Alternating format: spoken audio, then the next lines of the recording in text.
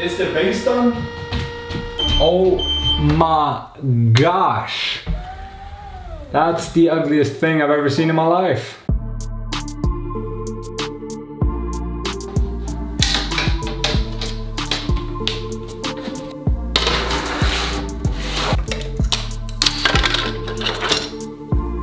Oops.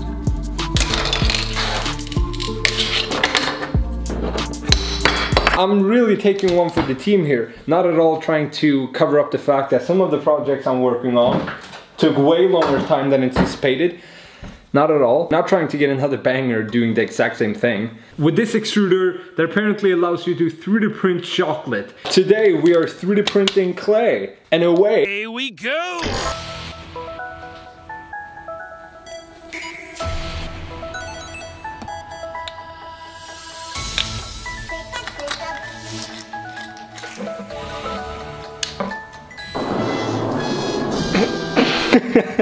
alright, alright. Here we go. Here we go.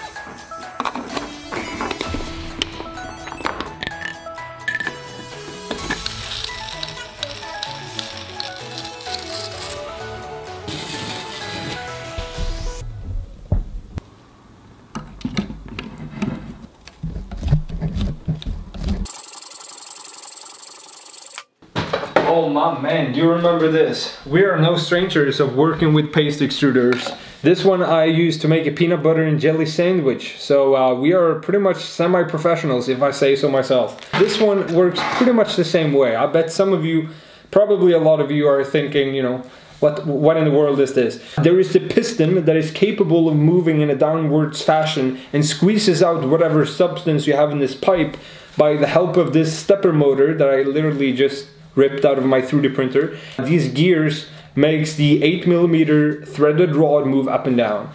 And uh, that was also controlling the the piston. A very clever design mostly because I didn't design it this guy did. So thank you very much for making this awesome paste extruder. We'll take this put on a 3D printer and start making stuff.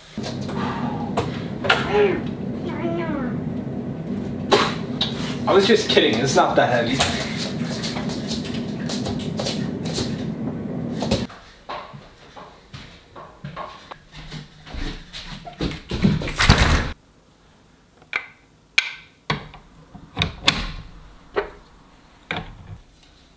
I chose to use this massive printer because I figured it would be the easiest way of mounting this humongous thing. It also has a magnetic mounting plate for the for the extruder which is really simple so I just made a bracket mount. As you can see this just holds together with a clamp and I also took the liberty to print a small nozzle. I'm not sure you can see that but it's a 1.5 millimeter nozzle and it just goes on the end of this extruder and hopefully we will be able to extrude some clay through this small nozzle. That's a little sketchy but might work.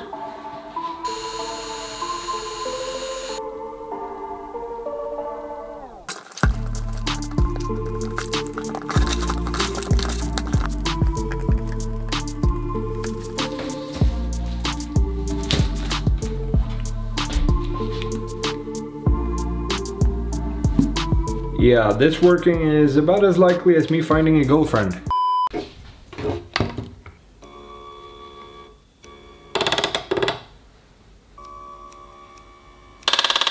Oh, okay, that's just too thick. So this means we got two options. Either we make the nozzle bigger or we can make the clay softer, more liquid-like.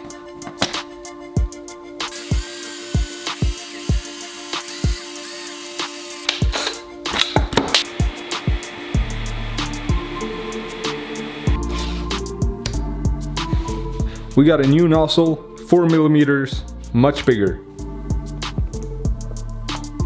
Outside the box thinking at its finest. Nice.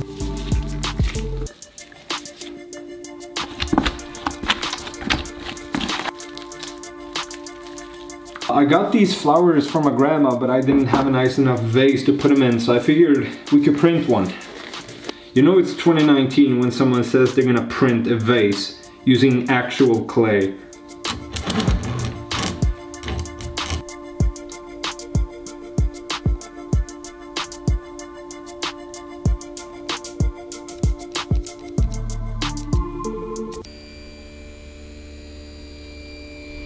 That's incredible. It does seem to be working, but we have some motor problems. It seems like the motor is just a hair too weak in order to rotate the wheel.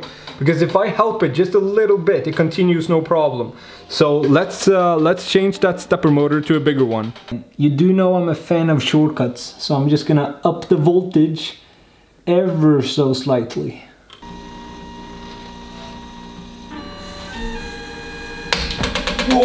We may have gone a little too much voltage.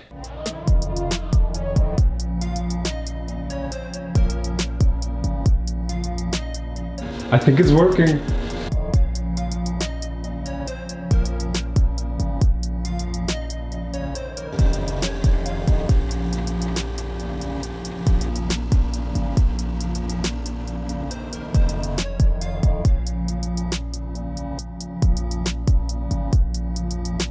Oh yeah, sure. Doesn't look like at all. I'm starting to think the soap may have something to do with this.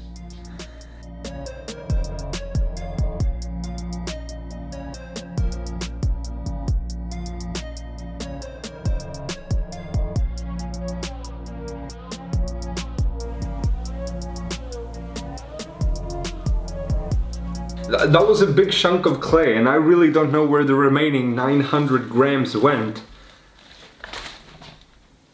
But I'm saying that's semi-successful.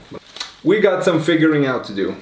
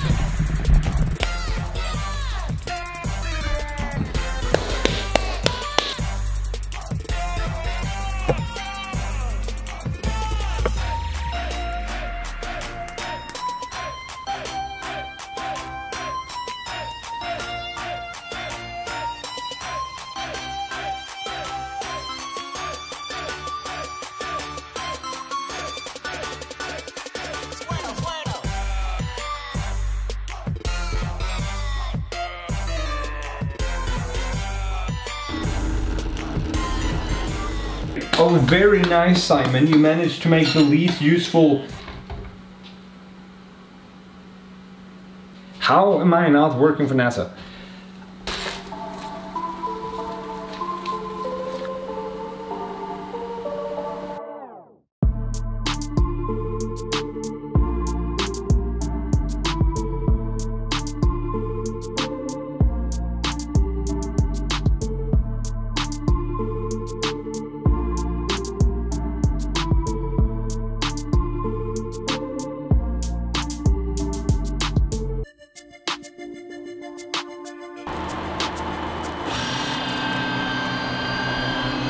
You know, I was mixing these colors, just wishing for it to be a cascade of interfering colors. What did we get? Vomit green? I, I seem to constantly encounter the problem between, well, it's a balance between a substance that easily flows and a substance that doesn't easily flow.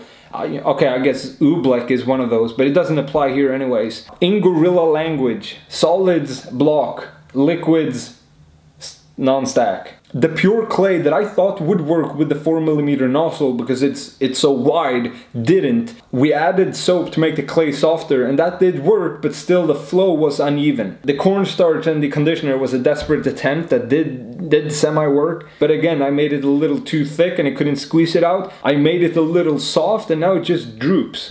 It just never ends.